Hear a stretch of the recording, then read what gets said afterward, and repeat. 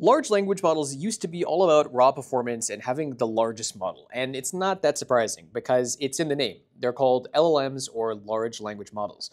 But over the past few months, at least in the end of 2024, we've started to see a massive movement of SLMs or small language models, models that compress the performance and efficiency of large models and do it at fractions of the size. So basically taking performance that we would have only expected from models exceeding 70 or 120 billion parameters and doing it in models that have less than 14 billion parameters. Transformer models have gotten much better at this. We've seen really interesting advancements from startups like Liquid, but Liquid obviously fell short in terms of realistic real-world performance. And what I want to talk about today is a really interesting development in the Mamba or kind of hybrid Mamba ecosystem. The massive advancement we're looking at today is from Zyphra, and their previous work was bringing us Zamba, which is a hybrid Mamba model that poses some really interesting performance attributes. And the reason their latest release, Zamba 2.7b, is so impressive is that it beats Llama 3.1 8b, Gemma, and Mistral 7b, and Mamba 2 in basically all areas of performance. And specifically, the architectural changes result in some really interesting performance attributes that lead me to believe that they're not just juicing benchmarks like we've seen some other startups try to do with new novel model architectures. So I want to get into where you can use this right now, what this means in terms of advancements in both transformers and Mamba architectures, and break down why this model is so interesting. So welcome to AI Flux, let's get into it. So first off, I want to get into what Zyphra is. So Zifra or Zyfra is a company that's actually working on something much bigger than just singular models. They're building what they're calling Maia OS, which is a multimodal agentic system combining advanced research in next-gen neural network architectures, specifically SSM hybrids, which is what Zamba is, specifically intended for long-term memory and reinforcement learning. They wrap AGI into some of this and it's pretty interesting. And what's cool is they have offices in Palo Alto, uh, Montreal, and London. So that's what Zyphra is. And what we're talking about today is Zamba 2.7b. And the way that they describe this is that they're excited to release Zamba 2.7b, a state-of-the-art small language model, or SLM, at the 7 billion parameter scale, which they say outperforms the leading models of Mistral, Google Gemma, Meta's Llama 3 series in both quality and performance. And we'll see later, also in efficiency. They say, we believe Zamba 2.7b is the leading model for running on-device and consumer GPUs, as well as for many enterprise applications, which require a powerful but compact and efficient model for neural language tasks. And that's basically sort of an occluded way of saying for agentic tasks. Because a smaller model you can run more instances of on a single GPU, and if you're leveraging more performance and efficiency, agentic wins are pretty big.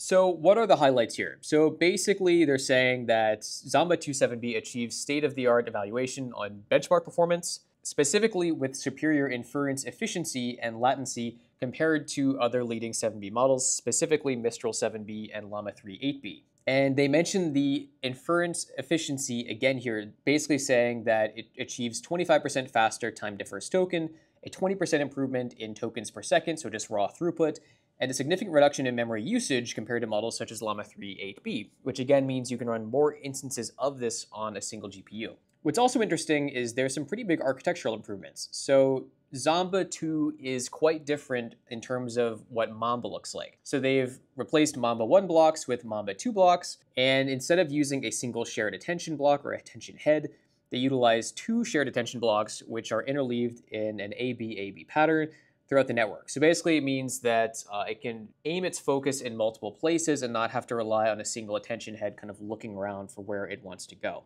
And then they say we apply a LoRA projector to each shared MLP block, which allows the network to specialize the MLPs at each invocation of the shared layer. It's also completely open source, which is really cool. Now, what's interesting is when we look at a visual comparison of other models, they highlight here this best performance speed ratio and obviously Zamba 2 is way up here. And this isn't necessarily surprising because of how Mamba works. Compute scaling is generally always better with Mamba, and there's still a number of things that transformers are better at, but it's curious to see how quickly this architecture is getting better. And it's also important to mention that a lot of these benchmarks operate at a pretty low input sequence length. So these are great for tasks that don't really require a huge context window, so maybe not coding, but for a number of other tasks, it's really pretty interesting. Now the evals are kind of surprising. So I will say, The performance wins here are within margin of error in a number of benchmarks.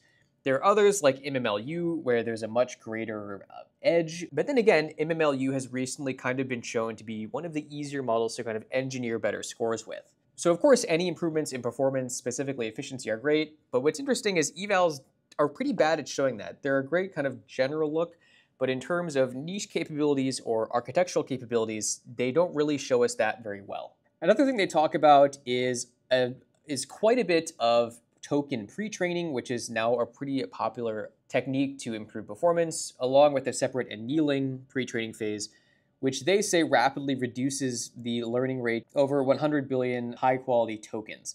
So again, they're going for quality here, and the use of pre-training is something that I think is going to stay for quite some time. What's cool here is they actually give us a pretty great example or a visual representation of what the Zamba hybrid SSM attention architecture looks like. So effectively, it's a number of layers that are based on Mamba 2, strung together in a way that gives enough efficiency, but also high quality outputs when you're using this and compare it to transformer architectures.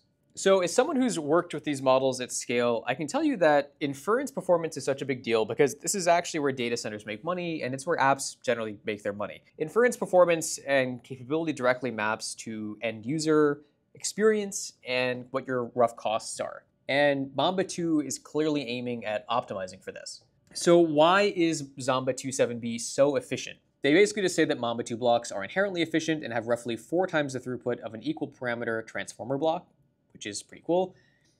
The Mamba blocks have small hidden states to store and don't require a KV cache, so we need to store KV states for the invocations of the shared attention block. And what's cool is the guys who are building Cursor mentioned this quite a bit. That's where a lot of their internal optimization is going on with Cursor. And they say they choose model sizings that are very amenable to parallelization on modern hardware. So basically, multiple streaming multiprocessors on GPUs or multi-cores on CPUs. Again, with the idea being that this model will be a better choice for agentic tasks if you have a limited number of GPUs to work with. Or if you have a set number of GPUs, you can do more with this model than you could with, say, an agentic flow using Llama 3 8B. And pre-training and annealing really shine when you look at how much time it actually took to create this model. So Zamba 2 7B was trained on 128 H100 GPUs, so more than I could ever afford, but frankly, that's not a really ridiculous number for approximately 50 days using their internal training framework developed on top of Megatron LM. Zamba 2, as a result, demonstrates that the 7B scale uh, even at the frontier, is still reachable and surpassable with a pretty small team. And I would bet that the reason they have a presence in Montreal is power is actually really inexpensive in Montreal due to a lot of hydro development there. And if you go and look on Vast AI, there are actually a ton of people who host in Montreal because they have good internet and really cheap electricity. Not to mention, it's so far north that you basically have zero costs cooling a data center in the wintertime. And again, Zamba 2 7B is entirely open source, and you can use it both on Hugging Face or with their internal tool, and I'll link both of those below. So let's actually try out this model and see what we can get. So I'm going to select Zamba 2 7B. There's also a really interesting model that's even smaller called Zamba 2 2.7B. So what I'm going to say first is I need to schedule a flight from New York to Montreal. Which location? So sort of an open-ended question here, but let's see what it gives us. And what's also cool is the weights for this are also currently available, and there's both an instruct and a base model you can use. So what's interesting with this model is it doesn't overcompensate or try too hard to answer things that are vague. What's interesting with MOM models generally is they understand when to not overpromise or over provide tokens, um, at least in terms of output. So you can give them a lot of input and they can reason about what's actually important, in my opinion, better than a lot of transformer models. Like if this was Llama 3 8B instruct, I would expect to be getting a huge list of how to book a flight. And here it says, to ensure getting a flight from New York to Montreal, it's best to book your flight from New York first because that's where you're going from. This will give you the most options and flexibility in terms of departure and arrival times. So now I want to ask something a little bit more complicated. So I'm going to refresh this how should I select, select the farm I purchase almonds from in order to create the almond butter? So let's see if it'll give us a list. The base model is obviously quite different from the instruct version. So what's cool is we're actually able to get effectively instruct level output from what I'm pretty sure is the base model. There might just be a selection criteria here on Zyphra's um, own kind of inference stack here, but let's see what we get. And I would bet this is on a shared GPU because I've run this locally and it's been significantly faster. But I do like the ability for Zamba models to kind of reason throughout a task and not just kind of give a static answer. And although they can't do certain things that transformer models can do, it's interesting how thoughtful and generally concise the answers are from Zamba, especially Zamba 2. So this gave us a pretty good set of instructions here.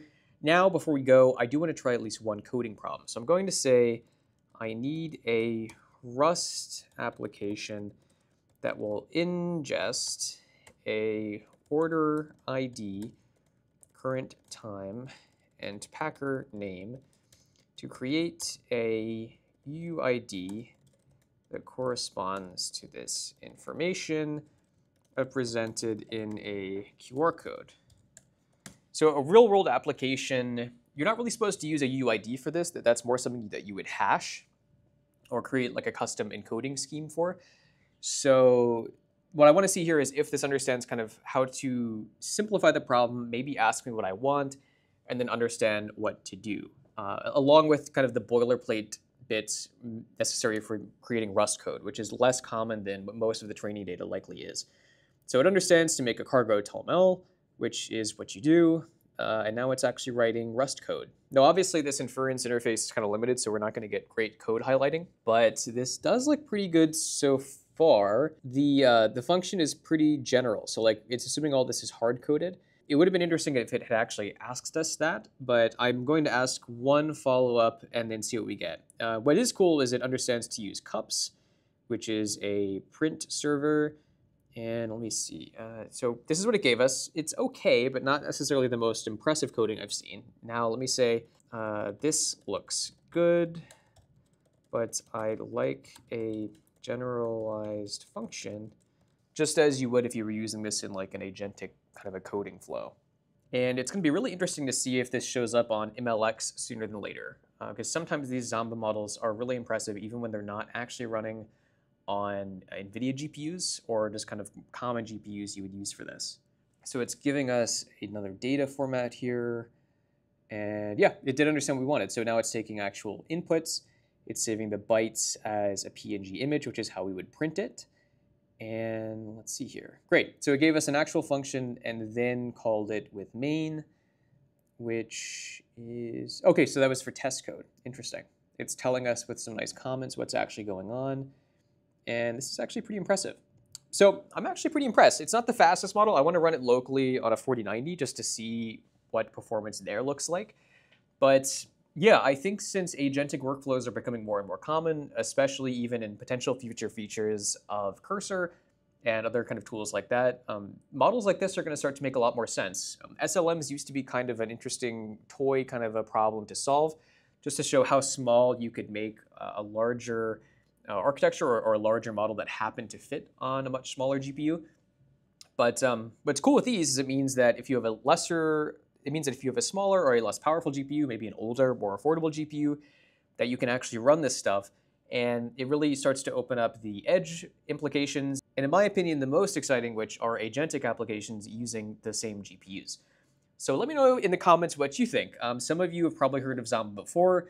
Maybe some of you maybe haven't. Um, are you going to plan to use this over Llama 3 1 8B or Mistral 7B? For me, one of my favorite models is still the Mistral model, so I'm not sure that I'll be doing that, but a really impressive release nonetheless, and some really cool stuff making the training time a little bit faster and creating models that are intended for pretty different things than just our standard models that we see from Mistral and Meta. So as always, I hope you guys learned something. If you like our content, please like, subscribe, and share, and we'll see you in the next one.